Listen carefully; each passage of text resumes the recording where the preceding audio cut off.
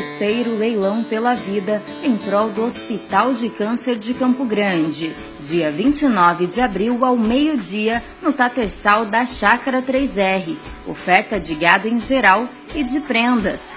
Venha e participe de um dia de muita cidadania que contará com atendimentos de prevenção com a equipe de saúde de Figueirão e do Hospital de Câncer Alfredo Abrão a partir das sete e meia da manhã. Também será inaugurada a ampliação da UBS e a entrega de uma UTI móvel. Venha fazer parte dessa corrente pela vida. O remate terá transmissão ao vivo pelo site da Fazenda 3R.